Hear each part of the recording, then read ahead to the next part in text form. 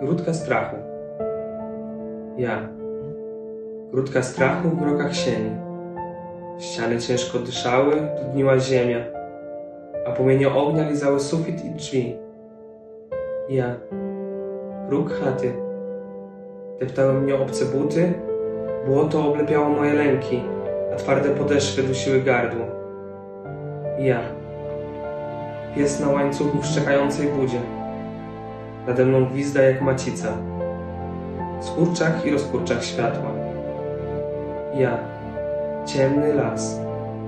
Paliła się moja mowa i płonęły strumyki. Ja. Polna droga.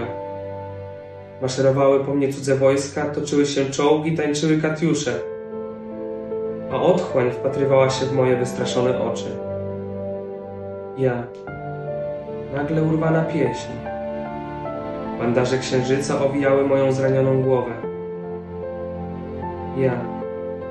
Strzęp języka, nieme ziarno historii. Kiełkowały we mnie wszystkie czasy, przestrzenie i języki. I płynęła rzeka Styx. A Charon przewoził na drugą stronę moje krwawe sny. Ja. Morze martwe. Słychać tylko szum ciszy i chlupotanie snów. Ja. Pusty most, pod którym nie płynie żadna rzeka. Cisza łamała mi wargi.